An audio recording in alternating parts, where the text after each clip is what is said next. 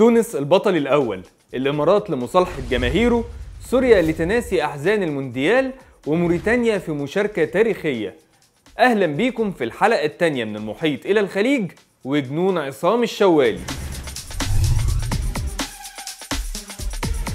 لو عملت search على يوتيوب بجملة جنون عصام الشوالي كم فيديو ممكن يطلع لك؟ ألف؟ ألفين؟ مئات الآلاف؟ فيديوهات كتيرة بتحمل اسم عصام الشوالي. عصام الشوالي ابن تونس اللي موجودة في المجموعة التانية من كأس العرب. تونس داخلة البطولة كمرشح بارز بسبب التاريخ الكروي الكبير لمنتخب تونس وللأندية التونسية. ما نقدرش أكيد ننسى نجوم كتيرة جدا قدمها منتخب تونس. لكن زي ما تونس قدمت نجوم كتيرة جوه الملعب قدمت لنا نجوم جوه كابينة التعليق. عصام الشوالي ورؤوف خليف وقبلهم هشام الخلصي أثروا التعليق العربي بحاجات كتيرة جدا وذكريات عمرنا ما هننساها. غيروا كتير من التعليق العربي اللي كان معتمد على المدارس المصرية والخليجية والشامية وقدموا نفسهم كمنافس قوي جدا للمدارس دي. فبقينا بنشوف معلقين إحنا ممكن نسمعهم ونفتكر إن هم عصام الشوالي أو رؤوف خليف بسبب كمية العدد الكبيرة من المعلقين اللي بيقلدوهم. ممكن تكون بتحب المدرسة التونسية في التعليق أو لأ. لولا اختلاف الأذواق لبارت السلع. لكن في النهاية محدش فينا يقدر يختلف إن المدرسة التونسية أضافت للتعليق بسبب الرتم السريع لمعلقيها وبرضه استخدامهم بعض الألفاظ من اللغة الفرنسية وأحيانا من اللغة الأسبانية. كل ده أكيد أثر على ذكرياتنا الكروية على مدار العشرين سنة اللي فاتوا. وزي ما تونس شهيرة بالمعلقين فالإمارات المنتخب الثاني في المجموعة شهير بنجاحه الكبير في المراحل العمرية الأصغر.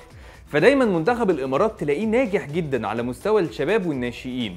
قدر إن هو يوصل ربع نهائي كأس العالم للشباب في 2003 و2009 وفي نفس السنة وصل لدور ال 16 من كأس العالم للناشئين. السمعة دي جت من اهتمام الإمارات بقاعدة الناشئين والشباب عندهم. بس ما ترجمتش النجاح على المنتخب الأول رغم إنه حقق بعض النجاحات اللي كانت أمل كبير للإماراتيين. سنة 2007 فاز بكأس الخليج لأول مرة ووصل semi-final كأس آسيا سنة 2015 الناس كلها قالت بس كده منتخب الإمارات أكيد بيجني ثمار اللي عمله على مدار السنين اللي فاتت. لكن دايما في حاجة ناقصة في منتخب الإمارات. وصل فاينل كأس آسيا سنة 96 على أرضه لكن فرصة عدنان الطلياني ضد السعودية لسه لحد دلوقتي كابوس في ذاكرة الإماراتيين بعد 25 سنة. ونفس الكابوس ده كان موجود في كأس آسيا 2019 بخسارة كبيرة جدا من قطر برباعية. علشان كده منتخب الإمارات بيدور على حاجة ناقصاه والحاجة دي ممكن يدور عليها في كأس العرب.